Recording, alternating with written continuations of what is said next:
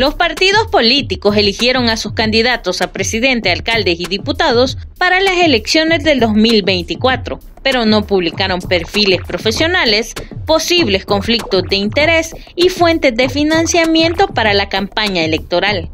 Debido a esta falta de transparencia, los votantes tienen poca información para tomar una decisión informada sobre quiénes son los mejores candidatos para ocupar un cargo de elección popular, teniendo en cuenta que la campaña electoral inicia el próximo 3 de octubre. Los partidos políticos siguen sin eh, solicitarles a sus candidatos la, presentación de declaraciones de conflicto de interés.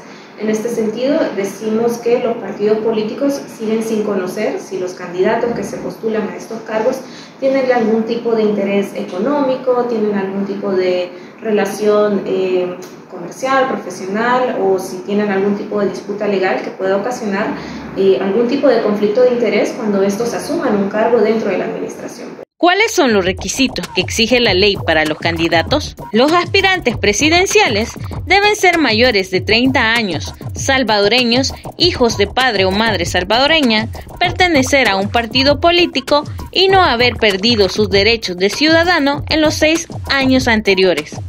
Los candidatos a diputados deben ser mayores de 25 años y no haber perdido sus derechos civiles en los cinco años anteriores mientras que los aspirantes a alcaldes deben ser mayores de 21 años y tampoco deben haber perdido sus derechos en los últimos tres años.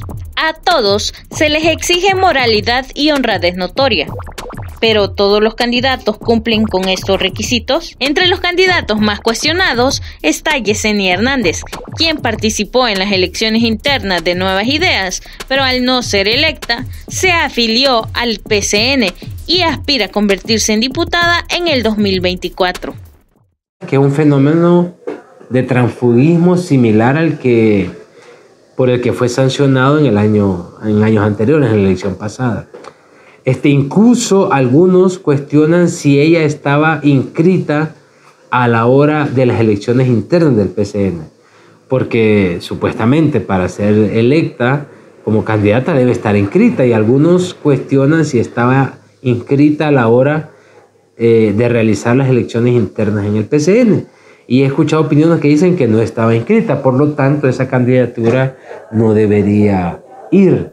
Otro caso de transfugismo ocurrió en la elección del 2021, cuando el Tribunal Supremo Electoral permitió la inscripción de Romeo Auerbach, ex candidato de Nuevas Ideas, que perdió las internas y luego se postuló con el partido Gana, resultando electo. Otra candidatura cuestionada es la reelección presidencial de Nayib Bukele. En la Constitución de la República se prohíbe en siete artículos que el presidente siga en el poder. Hay una candidatura a la reelección que es inconstitucional. Entonces, eh, estamos ante un proceso electoral incierto, con mucha incertidumbre, y eso no garantiza eh, una integridad del proceso. Otros cuestionamientos son la falta de preparación de sus candidatos y la opacidad con la que fueron electos. Para la prensa gráfica informó Saraí Alas.